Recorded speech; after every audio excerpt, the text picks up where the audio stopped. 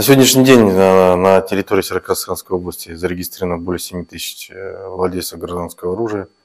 Эм, как вы знаете, сейчас э, сфера оборота гражданского оружия перешла в государственную услугу. Всего государственных услуг в сфере оборота гражданского оборота оказывается 14 видов. В 2022 году по статистике было оказано Департаментом полиции Северокавказской области 5752 Э, госуслуги. Э, в текущем году оказано 425 уже э, государственных услуг. Раньше, до принятия приказ, инструкции 254, весь документооборот, прием документов, граждан прием также осуществлялся напрямую сотрудниками полиции. С принятием данной инструкции 254 контакт Э, услуга получателя, услугодателя исключен во избежание коррупционных рисков. Э, сейчас, в настоящее время, весь документооборот переведен в государственную услугу в сфере оборота гражданского служебного оружия, э, дабы избежать, как сейчас повторюсь, коррупционных рисков. Жалоб по истечению 2022 года и текущего года по оказанию государственных услуг в отношении сотрудников не поступало. Э, обоснованно отказано 49 э, э, государственных заявок в 2022 году в силу того, что услугополучатель не подкреплял необходимые документы согласно инструкции 254. В настоящее время у нас произведено изменение в приказе 62 МВД РК, где одно из условий у нас ограничение по возрастному цензу. То бишь э, лица, желающие стать охотником, именно приобрести э, ружье для охоты предназначенное, гладкоствольное изначально у нас приобретается. Лица сейчас у нас достигшие 21 года имеют право приобрести себе гладкоствольное оружие для любительской охоты. Я акцентирую внимание, для любительской охоты. Раньше у нас это э, осуществлялось с 18 лет. Сейчас немножко у нас возрастной ценз увеличился – вот буквально а, ну, в конце 2022 года был принят, приняты изменения, а в 2022 году они вступили в законную силу и уже действуют.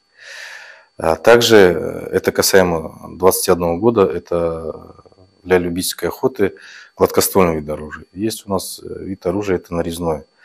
Возрастной ценз сейчас увеличили до 24 лет. А, и со стажем не менее трех лет э, владением гладкоствольным ружьем. А, также у нас э, сейчас упорядочилось э, приобретение холощенного оружия.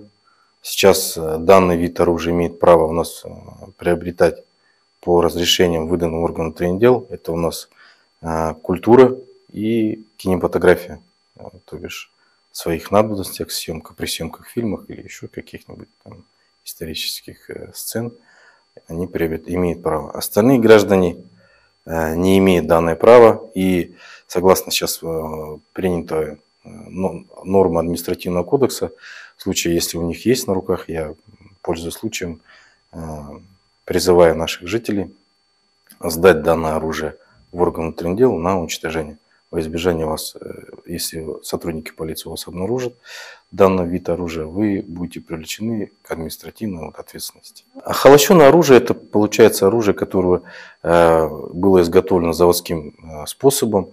Раньше оно было предназначено как для стрельбы, было боевое, проще говоря. Сейчас оно деактивировано, то бишь составная часть ударная там удалена, в стволах уже имеются штифты во избежание э, произведения выстрела. Ну, да, данное это оружие считается холощенным, и э, у нас только сейчас кинематография имеет право приобретать данный вид оружия и культура.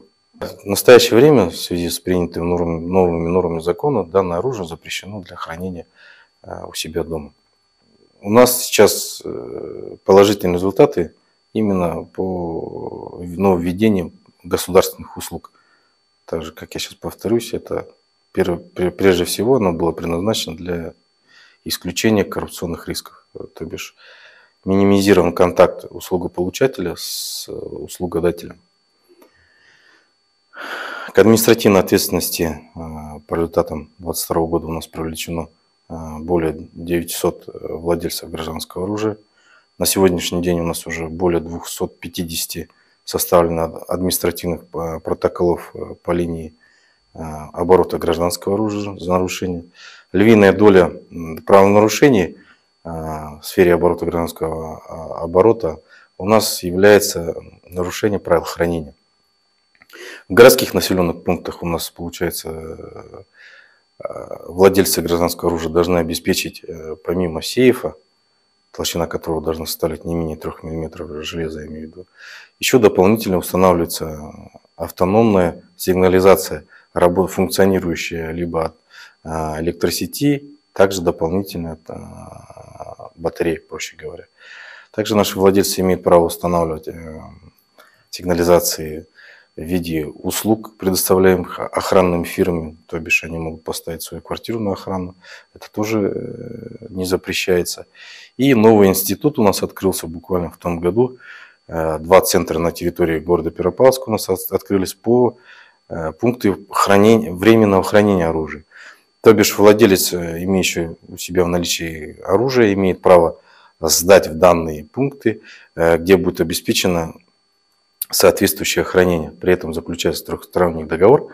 Один остается, получается, у данного центра, второй остается на руках у владельца, а третий передается э, в орган внутренних дел. При этом, э, когда владелец сдает в данные пункты у нас на хранение оружия принадлежащее, он освобождается от каких-либо проверок со стороны органа внутренних дел. Сейчас я понимаю, что львиная доля, как я сейчас повторялся, что у нас является это нарушение правил хранения оружия. То бишь там где-то они хранят ценности до сих пор э, в сейфах. Э, в данный момент сейчас это исключено и запрещено. При этом, э, когда выявляются такие правонарушения, владелец уже привлекается к административной ответственности по статье 484.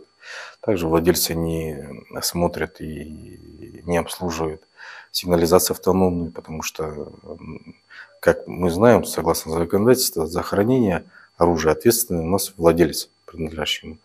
Соответственно, он должен обеспечить и полный функционал, полный функционал э, сигнального устройства.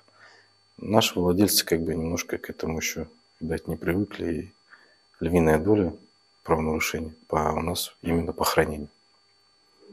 Хотел бы еще предостеречь наших э, владельцев в предстоящем э, охотничьем сезоне весеннем, чтобы строго соблюдали правила э, применения оружия во избежание несчастных случаев с применением оружия.